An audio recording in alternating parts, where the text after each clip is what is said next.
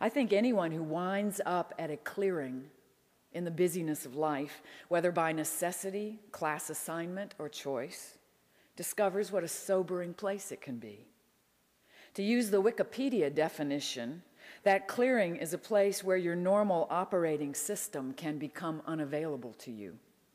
It's a place where your customary way of doing things can crash so that you fail to provide or perform your primary function, which gives you the rare opportunity to rethink what your primary function is. Is it to make A's? Is it to make lots of money? Is it to fulfill everyone's expectations of you, to rise to the top of your profession, to finish your to do list? What are you doing here?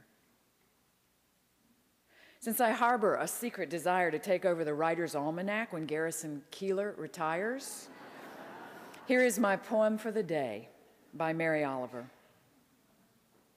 Who made the world? Who made the swan and the black bear?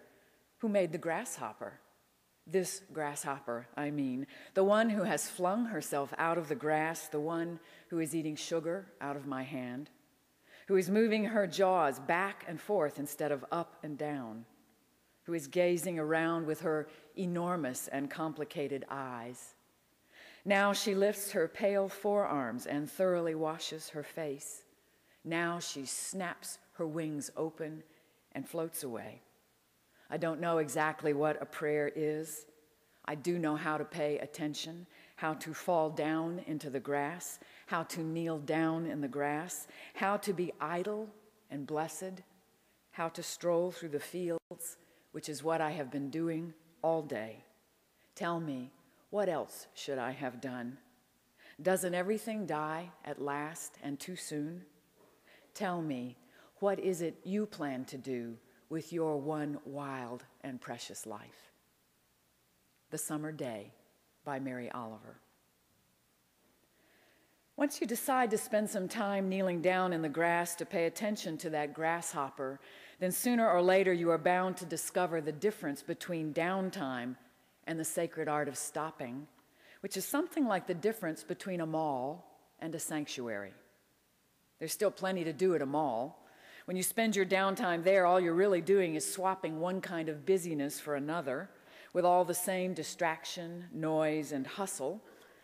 If, on the other hand, you know a place you might be willing to call a sanctuary, whether it's at the foot of a waterfall, in a carrel at the library, a corner of your own bedroom or in a house of worship like this, then you also know why stopping there might qualify as sacred.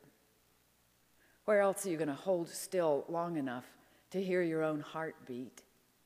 Not because you're hooked up to a heart monitor in an emergency room wondering if you'll make it or not, but because you decided to stop earlier than that, when there was still time to entertain fresh answers to the questions of who you are and why you're here.